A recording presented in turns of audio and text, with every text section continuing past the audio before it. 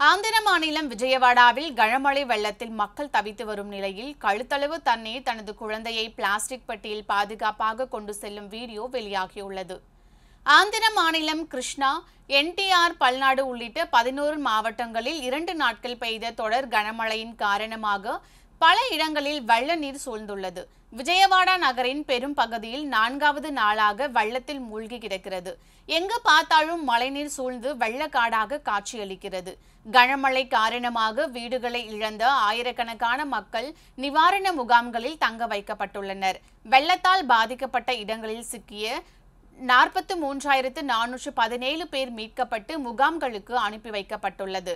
விஜயவாடாவில் மூன்றாவது நாளாக வெள்ளத்தால் பாதிக்கப்பட்டவர்களுக்கு ஹெலிகாப்டர் மூலம் உணவுப் பொருட்கள் மருந்து விநியோகம் செய்யப்பட்டு வருகிறது. ட்ரோன் மற்றும் படகுகள் மூலமும் பாதிக்கப்பட்டவர்களுக்கு தேவையான பொருட்கள் வழங்கப்படுகிறது. இந்த நிலையில் விஜயவாடாவில் உள்ள சிங் நகர் பகுதியில் குடியிருப்பு பகுதியில் கழுத்தளவு தண்ணீர் சூழ்ந்துள்ளது. அந்த பகுதியில் வெள்ளத்தில் சிக்கிய ஒரு தம்பதியினர் தங்கள் பச்சிலம் குழந்தையை பிளாஸ்டிக் பெட்டியில் வைத்து பாதுகாப்பான இடத்தை நோக்கி செல்கின்றனர். இது தொடர்பான வீடியோ காட்சி சமூக வலைதளங்களில் வெளியாகி பலரையும் அதிர்ச்சியடைய செய்துள்ளது.